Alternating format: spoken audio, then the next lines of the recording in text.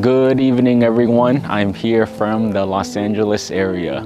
Today, I wanted to talk about the essence of you, and then also, if you do not like the essence of you, how do you begin the change process? But to cover this topic, let me give you some context because before coming into the monkhood, as many of you know, the context that I was in was I was working as a licensed marriage and family therapist. I work in many settings, such as the group home for foster kids in San Diego. I had my own private practice and then also working at a drug residential treatment center here in Malibu, California.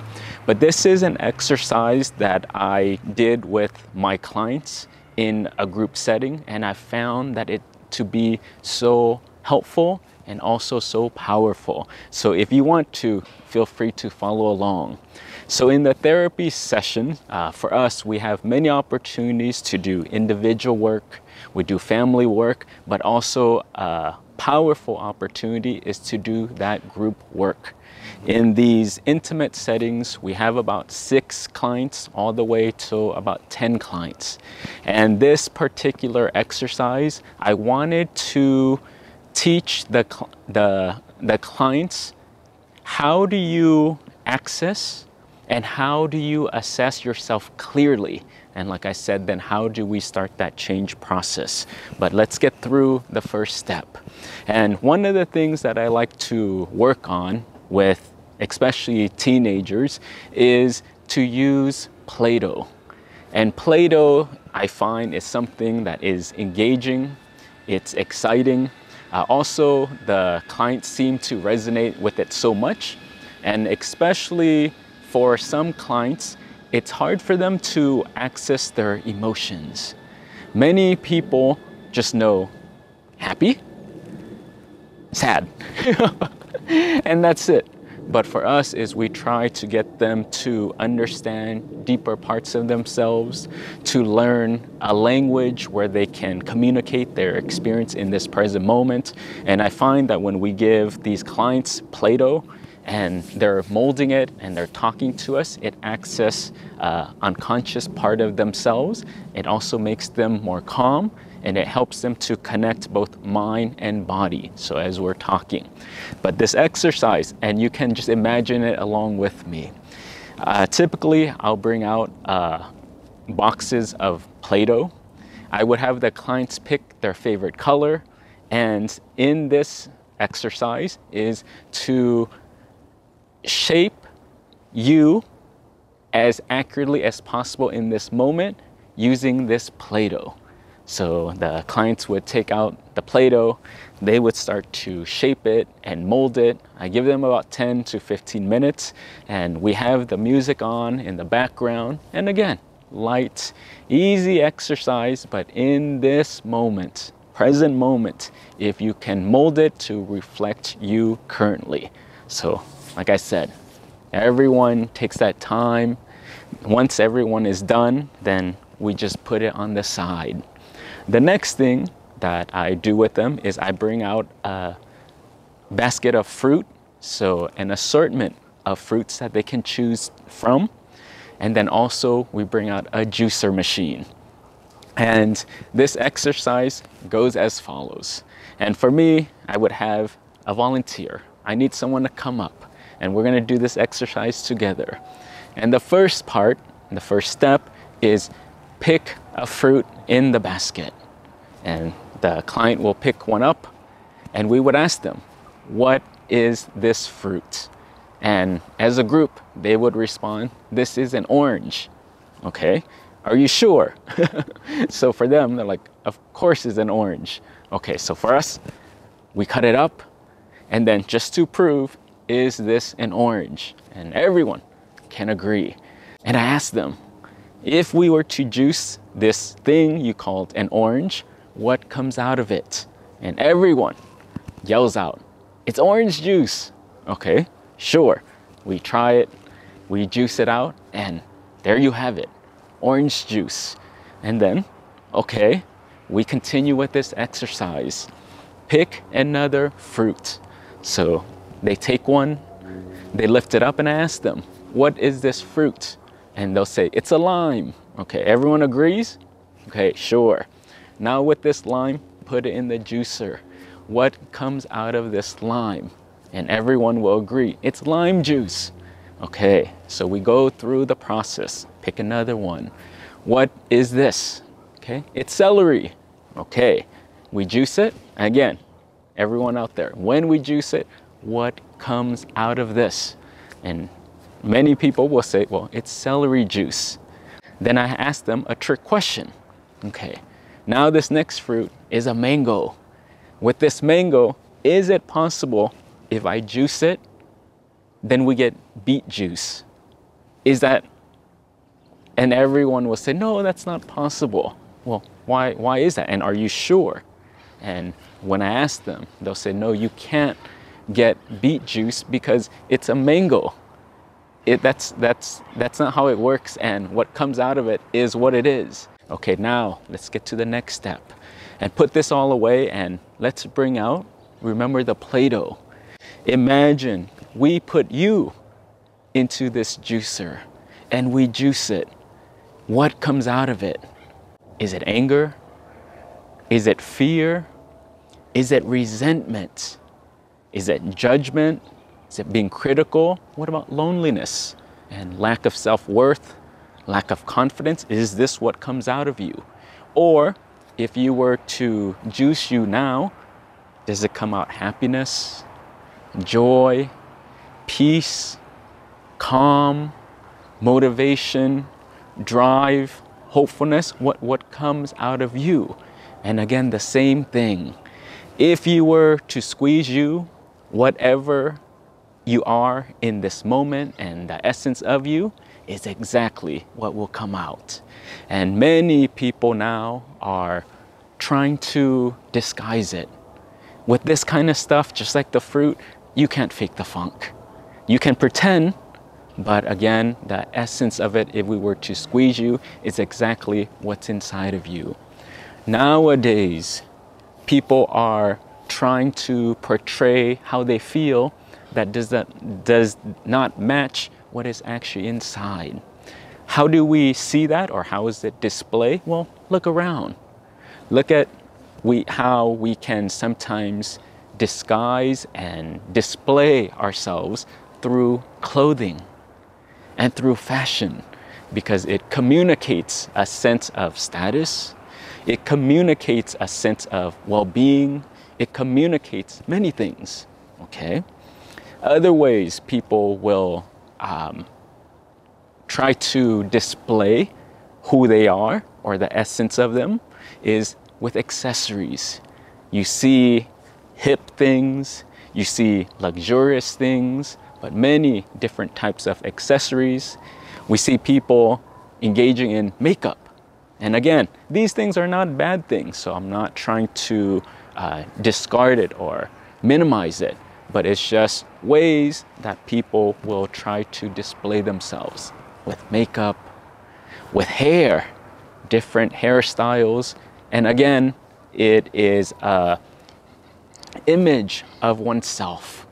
But with all these things, with all these accessories, again, at the end of the day, you can cover up as much as you want to, you can trick your friends. You can actually trick you. And but at the end of the day, if we were to juice you, like I said, you can't fake this. You cannot pretend to be a happy person. You cannot pretend, well, you can, but again, it oozes out of you. And the essence of you, what is in there, will come out at the end of the day. And I share this just because, not to put anyone down, but to really get you to see yourself accurately and to assess.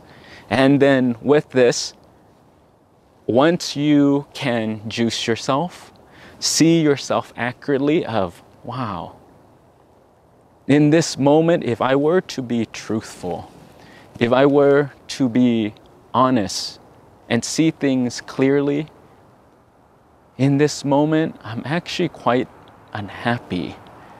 Um, I'm resentful. I still have so much history and heaviness with my parents, and I can't forgive. And I don't want to let go. I am someone who holds a grudge on purpose. I want to punish you. I want to judge you, and I'm critical of people. Okay, say that, own that, and honor it. And then when you can see yourself accurately, then we can do something about it. I wanted to share this not to make you feel bad or to have you beat yourself up, but no. If you're in a space where this is actually what comes out of you and you don't like it, now look at it from the lens of wisdom. Now use it as an opportunity for change and growth. And instead of trying to change your outside world to reflect an inner world, why don't we do the opposite? And the opposite is that we change the inner worlds. We change the essence of us. We change that core and the deeper part of us, and then the outside worlds will follow. And the next part is I want to give you steps for those who are wanting to go inside. This is three pillars that can be so helpful for you. And I wish I knew this information because as I was going through my transformation process, I didn't know how to change. I knew the way my life was. It wasn't where I wanted to be, but I didn't know the steps.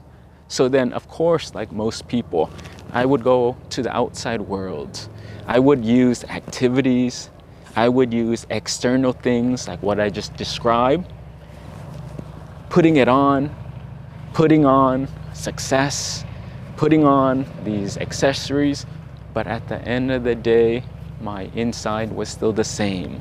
So now going back to what do we do and what is the system that we can use? So these three pillars in Buddhism that can start to change your inner world. Again, not religious, but just tools that are helpful for you to cultivate the mind, brightness of mind. And the first part is giving. Find ways to give Giving and generosity can be through resources. So some people will donate money. Some people will donate things to here. I'm here at a meditation center. In the monastery, people will donate, um, like I said, money. They will donate resources. They'll make an offering for the lighting, for electricity to keep the temple alive. So that's one way, giving of your resources. Another way is giving of your time, volunteering, coming, uh, helping someone to do tutoring with them, helping with an organization, with a church, with a temple, and you're volunteering physical time. That's one way of giving. Another way of giving is encouragement, uh, helping to support people through your words. Another way of giving is through teaching the Dhamma or teaching a proper way of living, encouraging people to be a moral person, to do the right thing. This is an act of generosity. And then lastly, an act of generosity and giving is forgiveness. When you forgive you, when you forgive other people, either living or alive, this is one form of giving. So this is pillar number one. Pillar number two is morality. Morality is the basic thing that helps to guard the human, guards the human mind of worry, of darkness. So the first one is no killing, abstain from killing. Second one is to abstain from stealing. Third one is to abstain no sexual misconduct. The fourth one is no false speech. And then the fifth one is to refrain or abstain from substances that alters the mind. So these are the second pillar and this is the morality part. Again, not religious, but just a basic moral code and that can keep you on track. Okay. The third pillar is meditation. Meditation is purifying the mind. You can do walking meditation, you can do sitting meditation, but through this act of bringing yourself back here, you start to purify the mind. So this is a three pillar. You can pick from any of these and start to integrate it into your life. And every single time that you do any one of these things, you can do all of them, you can do some of them. All of them would be great, but again, as you're starting, pick one, pick two. And every time you do it, what you'll notice is you'll add a little bit of goodness, a little bit of pure energy that goes into your core, that goes into your mind, and all the darkness that you have in there, now it starts to dilute it. Now it starts to change and activate a change right there inside of you at your core. And slowly but surely, it shifts you from the inside out. And so, why am I sharing this? And for me, I'm sharing this because when I was at the darkest phase of my life, when things just felt so hectic and who I was at that time, if you were to squeeze me, wow. If I can be honest, was just, I was anxious. I was fearful. I was lonely, really desperately wanting connection. I didn't feel proud of myself. I did not have the confidence. I had sadness. I had jealousy and resentment, and I couldn't let that go. I don't want to be that. I didn't want to be that. But if I were to be honest at that time, this was just the essence of me. And through the practice, like I said before, I tried everything else. But at the end of the day, it didn't change my inside until I was told of this these three pillars. And these three pillars changed my life. And I knew I wanted to change and I wanted to heal. And also I knew that I had two paths that I can go on. One was a path of change and transformation that was temporary. It felt good, it eased the pain, it covered up some things, but again, hmm, it didn't really change me inside. Or another way of doing what it takes, doing the real stuff and nourishing your mind from the inside. And this path was the real thing. This was the nutrients that I needed for the inside. But I knew that this path the change was real, but I also knew this path, it took longer. I didn't know how long it would take. I knew it would be hard. I knew it would be lonely. I knew it would be challenging and it would take time. But with these two options weighing on me, I said, I want to change for reals.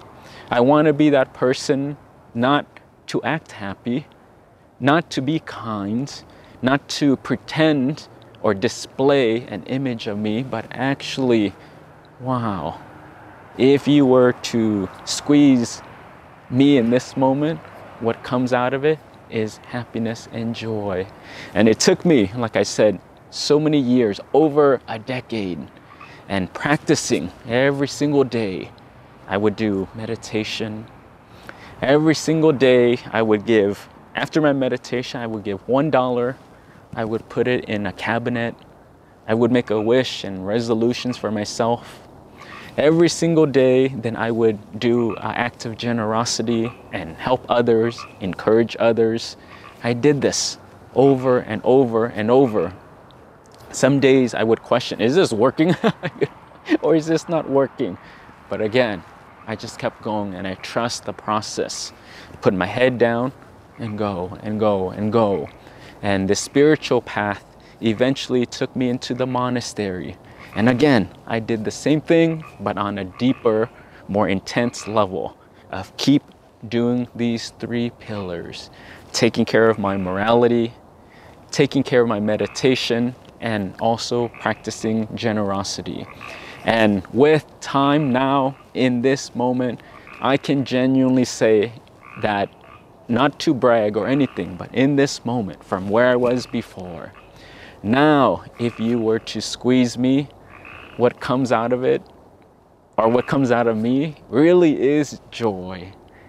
And I feel peaceful, and I feel hopeful, I feel alive, I feel positive, I feel motivated and driven and with purpose. But it it took a very long time. But I just share this because hopefully this can be an inspiration for someone that there is light at the end of the tunnel. If you were to ask me back then, can I really change the core and essence of me and really be happy? No, no, no, not even close. It was like night and day. But now through the practice, I can say that the the process is correct. So hopefully this is one system for anyone who is wanting to change themselves from the inside out to give it a try.